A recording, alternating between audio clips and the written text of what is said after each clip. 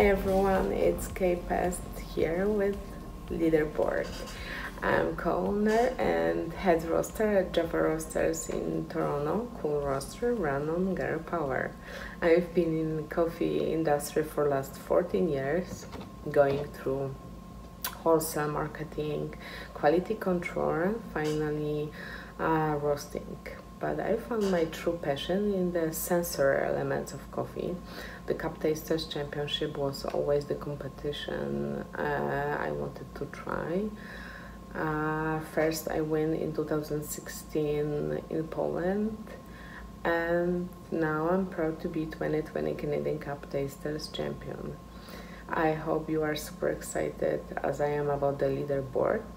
I will be your coach, and I'm going to talk about how to identify coffee varieties or cultivars. So, coffee species Arabica, just like apples or grapes, has different varieties. They can be precisely described by a set of characteristics. It can be shape, it can be flavor, size, and so on, like with apples. Let's take Granny Smith. You know that it's crisp, super crisp. It's tart, no sweet. Let's take Gala, what is super juicy, sweet, almost like pure taste. Or Red Delicious. Look beautiful, but it's sometimes tasteless. So you can find it also with coffee varieties. So let me show you right now the beans and I explain you more. Here we have um, beans from Ethiopia. Ethiopia is uh, the birthplace of coffee, the only country where coffee is endemic. Uh, Ethiopian uh, coffee is grown at great altitude and uh, develops very complex acidity.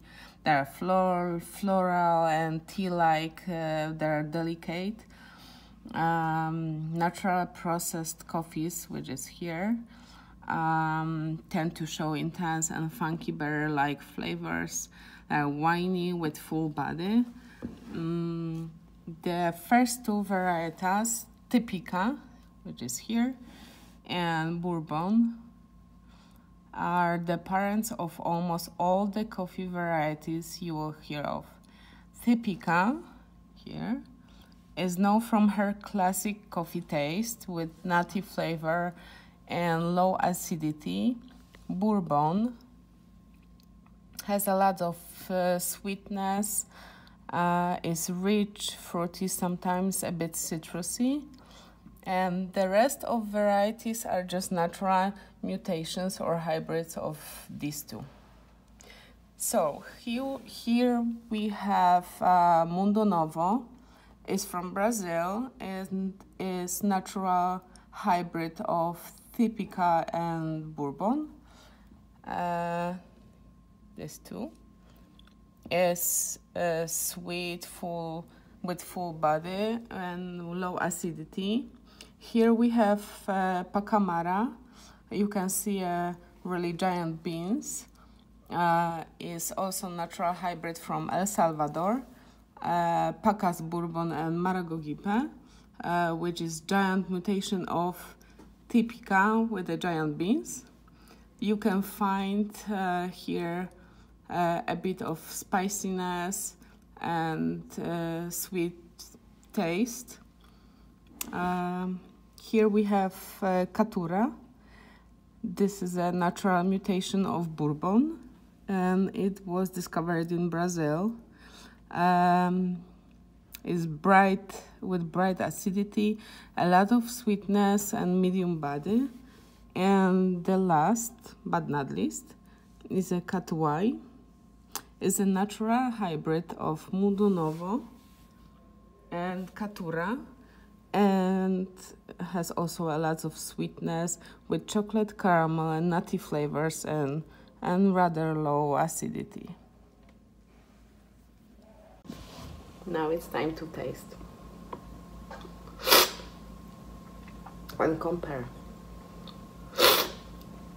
Remember to take a bunch of notes. You can change your mind several times during cupping and it's totally normal. Test as much coffees as you can and try to link the taste, the flavor with the variety. It will help you to learn a lot about the different characteristics. Try even the weird and the nasty ones. It can be fun. Try to focus on your sensory in general, not only with the coffee. Then you will discover many incredible things. So, if you have any more questions, you can always reach me on my Instagram is Kay Coffee and Art. So, are you ready to play? Good luck with leaderboard.